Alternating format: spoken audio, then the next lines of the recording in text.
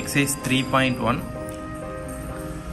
மூணு ரூபாய்க்கும் ஐந்து ரூபாய்க்கும் இடையே இருக்கக்கூடிய விகிதம் என்னன்னு கேட்குறாங்க ratio of three rupees to five rupees அப்போது விகிதத்தை எழுதுகிற போது என்ன பண்ணோம்னா முதல்ல மூணு ரூபாய் சொல்லிக்கிறாங்க இல்லைங்களா? த்ரீ விகிதத்துக்கு குறிப்பிடக்கூடியது இந்த ஐகான் ஐந்து ரூபாய்க்கு ஐந்து. மூன்று ஈஸ்டு ஐந்து. தமிழில் படிக்கக்கூடிய மாணவர்கள் மூன்று ஈஸ்டு ஐந்து.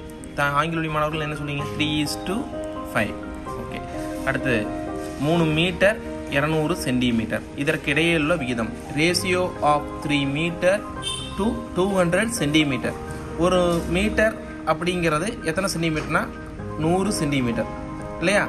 அப்போ மூணு மீட்டருக்கு எத்தனை சென்டிமீட்டர் வரும்? முந்நூறு சென்டிமீட்டர் ஓகேங்களா?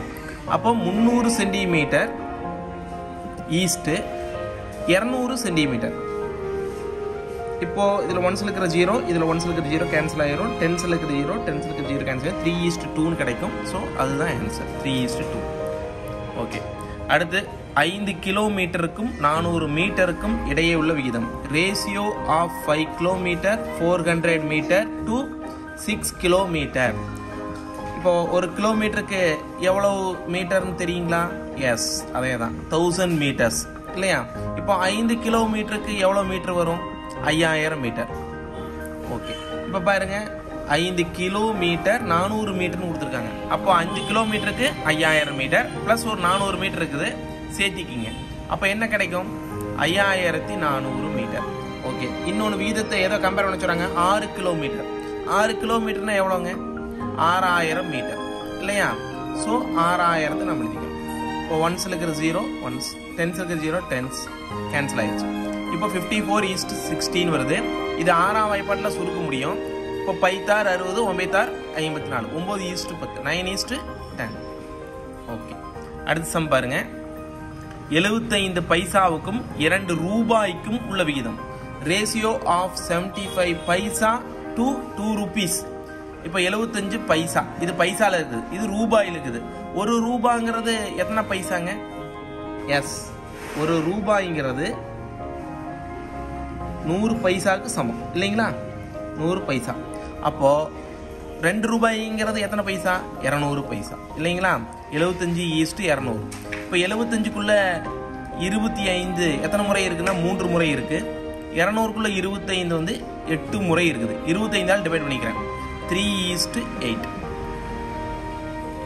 கீழ்காணும் கூற்றுகள் சரியா தவறா என கூறுக. Say whether the following statements are true or false the first one பார்த்தீங்கன்னா நூற்றி முப்பது சென்டிமீட்டருக்கும் ஒரு மீட்டருக்கும் இடையே உள்ள வீதம் பதிமூணு ஈஸ்ட் பத்துன்னு கொடுத்துருக்காங்க.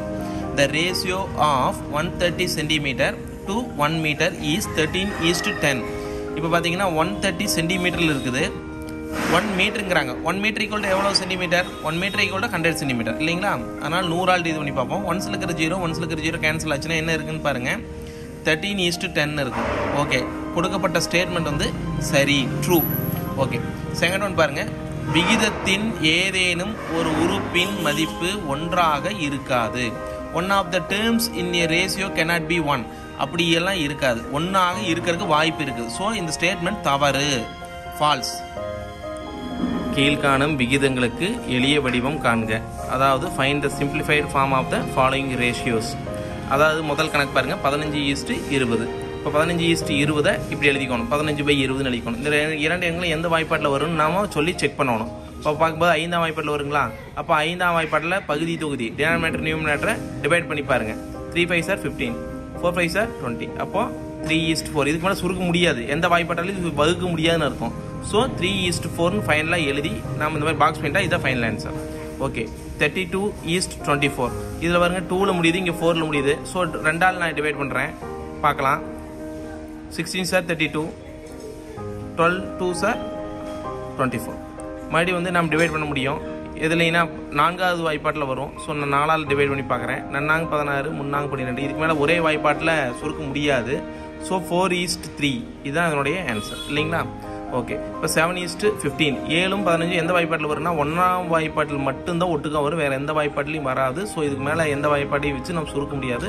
ஸோ செவன் பை ஃபிஃப்டீன் தான் கிடைக்கும். இதை வந்து எப்படி எழுதலாம்? Seven is to fifteen okay அடுத்த சம் பாருங்க. Twelve is to twenty seven இது எப்படி இருக்கேன் டுவெல் பை டுவெண்ட்டி செவன் எழுதியிருக்கிறேன் டுவெல்னு டுவெண்ட்டி செவனும் எதில்? தேர்ட் டேபிள் வருது இல்லைங்களா? அதனால் தேர்ட் டேபிளில் சுருக்கலாம். Four three are twelve nine three are twenty seven four four is to nine seventy five is to hundred இப்போ பார்த்தாலே நமக்கு தெரியுது இது கொஞ்சம் பெரிய எண்கள். ஸோ வந்து நம்ம ஐந்தால சுருக்கிட்டும் போகலாம் செக் பண்ணி பார்க்கலாமே. ஐந்தால சுருக்கலாம். பதினஞ்சு அஞ்சு எழுபத்தி அஞ்சு இருபத்தஞ்சு நூறு. ஓகே மறுபடியும் பதினஞ்சு இருபதும் அதே ஐந்தாம் வாய்ப்பாட்டிலேயே சுருக்கலாம். இப்போ பாருங்க. மூவஞ்சு பதினஞ்சு நாலஞ்சு இருபது. மூணு ஈஸ்ட்னால சுருக்க முடியாது இதுக்கு மேலே. ஸோ த்ரீ ஈஸ்ட்டு ஃபோர் அப்படின்னு எழுதிக்கலாம். ஃபோர்த் சம் பாருங்க. அகிலன் ஒரு மணி நேரத்தில் பத்து கிலோமீட்டர் நடக்கிறான். செல்வி ஒரு மணி நேரத்தில் ஆறு கிலோமீட்டர் நடக்கிறாள். எனில் அகிலன் மற்றும் செல்வி நடந்த தொலைவுகளுக்கு இடையே உள்ள விகிதத்தை எளிய வடிவில் காண்க. Akilan walks ten kilometre in an hour while Selvi walks six kilometre in an hour find the simplest ratio of the distance covered by Akilan to that of Selvi. ஒரு மணி நேரத்தில் அகிலன் கடக்கக்கூடிய தொலைவு. Distance covered by Akilan in one hour எவ்வளோ நேரத்தில் ஒரு மணி நேரம் கடக்கிறான்? பத்து கிலோமீட்டர் இல்லைங்களா? ஓகே ஒரு மணியில் செல்வி கடக்கும் தொலைவு. Distance covered by Selvi in one hour ஆறு கிலோமீட்டர் கடக்கிறாங்க. அப்போ இது ரெண்டு பேர் ரெண்டு பேர் கடக்கக்கூடிய தொலைவுக்கு வந்து ரேஷியோ கேட்குறாங்க அப்போ டென் டிவைடட் சிக்ஸ் டென்னையும் சிக்ஸையும் ஒரே வாய்ப்பாட்டால் நாம் சுருக்கிறதுக்கு இரண்டால் வகுக்கலாம். ஐ ரெண்டு பத்து மூணு ரெண்டு ஆறு. ஸோ ஃபைவ் பை த்ரீ கிடைக்குது இல்லைங்களா? இதை இப்படி எழுதிட்டா முடிஞ்சது. ஃபைவ் ஈஸ்ட் த்ரீ இதுதான் கடந்த தொலைவுகளினுடைய விகிதம். அவர்கள் கடந்த தொலைவின் தொலைவுகளினுடைய விகிதம். Ratio of the distance cover fifth sum பாருங்க. ஒரு மிதிவண்டியின் நிறுத்த கட்டணம் ஐந்து ரூபாய். மேலும் ஒரு இருசக்கர மோட்டார் வாகனத்தின் நிறுத்த கட்டணம் பதினைந்து ரூபாய். மிதிவண்டி மற்றும் இருசக்கர மோட்டார் வாகன நிறுத்த கட்டணங்களுக்கு இடையே இருக்கக்கூடிய விகிதத்தை காண்க. The cost of parking a bicycle is five rupees and the cost of parking a scooter is 15 rupees. Find the simplest ratio of the parking cost of a bicycle to that of a scooter. Parking cost of bicycle. மிதிவண்டி நிறுத்துற கட்டணம் எவ்வளோங்க yes ஐந்து ரூபாய் parking cost of scooter இருசக்கர மோட்டார் வாகன நிறுத்த கட்டணம் எவ்வளோங்க பதினைந்து ரூபாய் okay ratio of the parking அதாவது இந்த பார்க்கிங் கட்டணம் அதாவது நிறுத்த கட்டணத்துக்கு ரெண்டு ரெண்டு வகையான கட்டணம் இருக்கு இல்லையா? அதுக்கிடையே இருக்கக்கூடிய விகிதத்தை வந்து கேட்குறாங்க அதனால் வந்து நாம் வந்து என்ன பண்ண போகிறோம்னா இந்த ஐந்து பதினைந்து இந்த இரண்டுக்கும் இருக்கக்கூடிய விகித சமாச்சாரத்தை பார்க்கறக்காக இப்படி டிவைட் எழுதுறேன். ஃபைவ் பை ஃபிஃப்டின் எழுதுறேன். ஐந்தும் பதினைந்து எந்த வாய்ப்பாட்டில் வருங்க? ஐந்தாம் வாய்ப்பாட்டில் வரும். ஸோ ஐந்தால் டிவைட் பண்ணுறேன் ஐந்துக்குள்ளே ஐந்து ஒரு முறை பதினைந்துக்குள்ளே ஐந்து வந்து மூன்று முறை. ஒன் பை த்ரீ கிடைக்குது இல்லைங்களா? ஒன் இஸ்ட் த்ரீ இதுதான் அதனுடைய விகிதம். ரெண்டு கட்டணத்துக்கு இடையே இருக்கக்கூடிய விகித விகிதம் எதுன்னு கேட்டிங்கன்னா ஒன் இஸ்ட் த்ரீ ரேஷியோ ஒரு வகுப்பில் ஐம்பது மாணாக்கர்களில் முப்பது பேர் மாணவர்கள் எனில் எத்தனை பேர் மாணவிகள் இருப்பாங்க? இருபது பேர். மொத்தமே மொத்த மாணவர்கள் வந்து ஐம்பது பேர் இருக்கிறாங்க மாணாக்கர்கள். அதில் பாய்ஸ் வந்து முப்பது பேர்னா கேர்ள்ஸ் வந்து இருபது பேர். ஓகே இதில் மூணு கேள்வி கேட்டிருக்காங்க. மாணவர்களுடைய எண்ணிக்கைக்கும் மாணவிகளின் எண்ணிக்கைக்கும் இடையே இருக்கிற விகிதம். பாய்ஸ் கேர்ள்ஸ் மாணவிகளின் எண்ணிக்கைக்கும் மொத்த மாணவர்களின் எண்ணிக்கைக்கும் இடையுள்ள விகிதம். அதாவது கேர்ள்ஸுக்குமே total number of strength boy அந்த ஸ்கூலில் இருக்கக்கூடிய பையன் பிள்ளைகளை சேர்ந்துருக்காங்க இல்லைங்களா? அவங்களுடைய எண்ணிக்கைக்கும். அடுத்து மூணாவது கேள்வி. மாணவர்களின் எண்ணிக்கைக்கும் மொத்த மாணாக்கர்களின் எண்ணிக்கைக்கும் இடையே உள்ள விகிதம். அதாவது பாய்ஸுக்குமே அந்த டோட்டல் நம்பர் ஆஃப் ஸ்டூடெண்ட்ஸ் இந்த ஸ்கூலில் இருக்கிற ஸ்டூடெண்ட்ஸ்க்கும் ஓகே இப்போ சிக்ஸ்த் கொஸ்டின் அதாவது ஆங்கில வழி மாணவர்களுக்காக படிக்கிறேன். Out of fifty students in a class thirty are boys find the ratio of first question number of boys to the number of girls second question number of girls to the total number of students. Third question number of boys to the total number of students.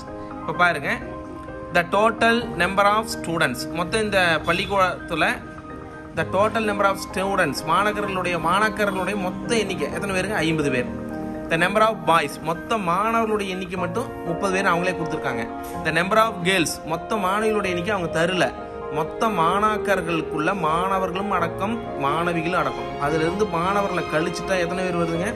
இருபது. இதான் மாணவிகளுடைய எண்ணிக்கை. Okay இப்ப பாருங்க மூணு கேள்வி கேட்டிருக்காங்க இல்லைங்களா? என்ன கேட்டிருக்காங்க ஃபர்ஸ்ட் கொஸ்டின் பாய்ஸ்க்கும் கேர்ள்ஸ்க்கும் இருக்கக்கூடிய விகிதம். The number of boys to the number of girls boys எவ்வளோங்க? முப்பது. கேர்ள்ஸ் எவ்வளோங்க? இருபது. இப்போ இது எப்படி எழுதலாம்? முப்பது பை இருபது. முப்பது பை இருபது எந்த வாய்ப்பாட்டாலும் சுருக்க முடியும். பத்தாம் வாய்ப்பாட்டாலும் சுருக்க முடியும். சிம்பிளிஃபை பண்ண முடியும். மூபத்து முப்பது இரண்டு பத்து இருபது. த்ரீ பை டூ எப்படி எழுதலாம்? Three is to two okay second question number of girls to the to the total number of students கேர்ள்ஸுக்கும் மொத்த மாணாக்கர்களுக்கும் கேர்ள்ஸ் எத்தனை பேர்? இருபது பேர். மொத்த மாணவர்கள் எவ்வளோங்க ஐம்பது பேர். அப்போ இது எப்படி எழுதலாம்? இருபது பை ஐம்பது. இப்போ இதையும் நம்ம ஜீரோவில் முடியறதுனாலயே ஒன்ஸில் பாருங்க ஜீரோவில் முடியறதுனால பத்தாலேயே டிவைட் பண்ணலாம். பகுதி தொகுதி பத்தால் டிவைட் பண்ணும்போது ரெண்டு பத்து இருபது ஐ பத்து ஐம்பது.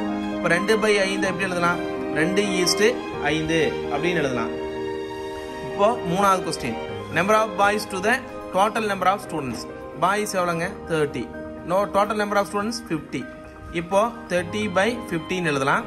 இப்போது இதுலேயே தேர்ட்டியில் ஒன்ஸில் ஜீரோ இருக்குது. ஃபிஃப்டிலேயும் ஒன்ஸில் ஜீரோ இருக்குனால டென்னால் டிவைட் பண்ணுறேன் இப்போ three tens are thirty five tens are fifty three by five கிடைக்குது இல்லைங்களா? இது எப்படி எழுதலாம்? த்ரீ ஈஸ்ட்டு ஃபைவ் புறவய வினாக்கள். அப்ஜெக்டிவ் டைப் கொஸ்டின்ஸ் இப்போ seventh question one rupee the ratio of one rupee to twenty paisa is ஒரு ரூபாய்க்கும் இருபது பைசாவுக்கும் இடையே இருக்கிற விகிதம் என்னன்னு கேட்குறாங்க ஒரு ரூபா இது இருபது பைசா. ஒரு ரூபாய்க்கும் ஒரு ரூபாயில் எத்தனை பைசா இருக்குங்க? நூறு பைசா.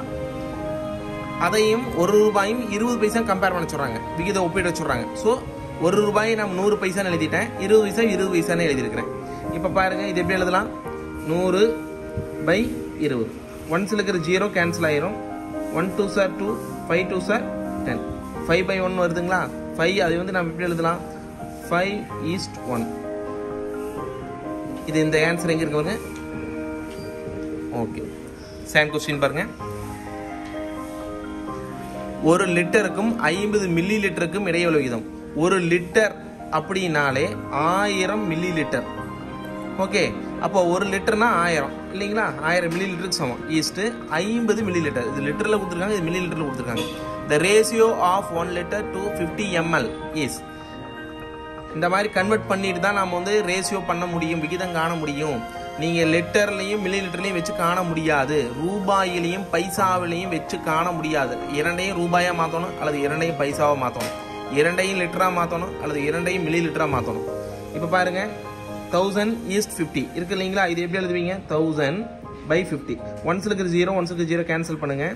One five are five two five are ten ஜீரோக்கு ஜீரோ அப்போ டுவெண்ட்டி பை ஒன்று கிடைக்குதுங்களா? அப்போ ஆன்சர் என்னங்க? டுவெண்ட்டி ஈஸ்ட் ஒன் இது ஆன்சர் எங்கே இருக்குன்னு பாருங்கள் சி ஆன்சர் இ நைன் சம் பாருங்க. ஒரு ஜன்னலுடைய நீள அகலங்கள் முறையே. நீள அகலங்கள். அப்போ நீளம் ஃபஸ்ட்டு வர்றது நீளம். அதாவது லென்த் அகலங்கள் முறையே. ரெண்டாவது வருது பிரெத் ஒரு மீட்டர் மற்றும் எழுபது சென்டிமீட்டர் எனில் நீளத்திற்கும் அகலத்திற்கும் உள்ள விகிதம். The length and breadth of a window are in one metre and seventy centimetre respectively the ratio of the length to the breadth is இந்த நீளத்துக்கும் அகலத்துக்கும் விகிதத்தை கண்டுபிடிங்க அப்படிங்கிறாங்க. ஆனால் நல்லா கவனிச்சுக்கோங்க ஒரு அளவு மீட்டரில் கொடுத்துருக்காங்க ஒரு அளவு சென்டிமீட்டரில் இருக்குது. அப்படி இருக்கும் பட்சத்தில் நம்மளால் வந்து நாம் விகிதம் கண்டுபிடிக்க இயலாது. இப்போ ஒரு மீட்டர் எழுபது சென்டிமீட்டர் ஒரு மீட்டரில் எவ்வளவு சென்டிமீட்டர் இருக்குதுன்னா நூறு சென்டிமீட்டர் இருக்குது. இல்லைங்களா? அப்போ ஒரு மீட்டருக்கும் எழுபது சென்டிமீட்டர்னா ஒரு மீட்டருக்கு மேலே என்ன போட்டுக்குவீங்க? நூறு சென்டிமீட்டர் போட்டுக்கலாம். எழுபது சென்டிமீட்டருக்கு கம்பேர் பண்ண சொல்கிறாங்க இப்போ நூறு ஈஸ்ட் எழுபதுன்னு வருது இல்லைங்களா? இது எப்படி எழுதலாம்? நூறு பை எழுபது ஒன்ஸில் இருக்கிற ஜீரோ இங்கே ஒன்ஸில் இருக்கிற ஜீரோ கேன்சல் ஆயிரும். ரிமைனிங் என்ன இருக்கும்? டென் பை செவன் இது எந்த ஒரு வாய்ப்பாட்டாலையும் சுருக்க இயலாது. இந்த ரெண்டு எண்களும் ஒரே வாய்ப்பாட்டில் மட்டும்தான் வரும். எங்கேனா ஒன்றாம் வாய்ப்பாட்டில் மட்டும். ஸோ இதுக்கு மேலே சுருக்க முடியாது. அப்போ டென் பை செவன் எப்படி எழுதுவீங்க? டென் ஈஸ்ட் செவன் இந்த ஆன்சர் எங்கே இருக்குன்னு பாருங்க. இ ஆன்சர் ஓகே இதுலேயே சேன் கொஸ்டின் பாருங்கள் முக்கோணம் மற்றும் செவ்வகத்தின் பக்கங்களின் எண்ணிக்கைக்கு இடையே உள்ள விகிதம். The ratio of the number of sides of a triangle to the number of sides of a rectangle ட்ரையாங்கிளுக்கும் ரெக்டாங்கிளுடைய பக்கங்களை ஒப்பிட்டு அதாவது முக்கோணம் செவ்வகத்தினுடைய பக்கங்களோடைய பக்கங்களுக்கு இடையேயான விகிதத்தை எழுத சொல்கிறாங்க முக்கோணம்னா எத்தனை பக்கம் இருக்குன்னு பாருங்க. ஒன் டூ த்ரீ இதே ஒரு செவ்வகம் அப்படின்னு எத்தனை பக்கம் இருக்குன்னு பாருங்க. One two three four three is to ஃபோருங்க இதுக்கு மூணு பக்கம் இருக்குது நாலு பக்கம் இருக்கும். அப்போது என்ன ஆன்சர் ஆ அதாவது பி ஆன்சர் பாருங்கள் த்ரீ ஈஸ்ட் ஃபோர் இருக்குது பாருங்க. ஓகே அடுத்து லெவன்த் கொஸ்டின் பாருங்க. அழகனின் வயது ஐம்பது மற்றும் அவரது மகனின் வயது பத்து. ஐம்பது இன்னொன்று பத்து.